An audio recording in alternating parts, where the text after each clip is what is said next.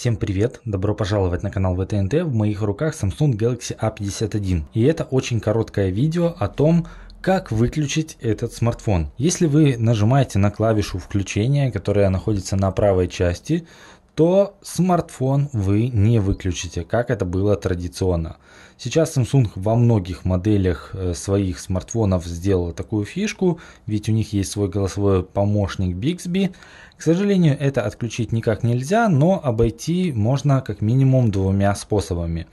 Первый способ, как по мне, достаточно простой, но вот такой.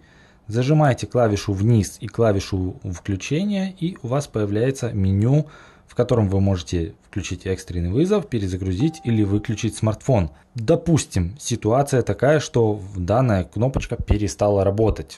Ну, как вариант. Или громкость вниз тоже. Это можно сделать софтверно. Открывайте шторку, опускайте еще ее вниз. И здесь есть вот эта вот клавиша выключения. И у вас появляется то же самое меню, что и при зажатии двух клавиш. По сути, это два самых оптимальных способа, как данный смартфон выключить, если вам нужно его выключить. Вот такой коротенький видеогайд для тех людей, которые не знают, как выключить свой смартфон Samsung, в данном случае Galaxy A51.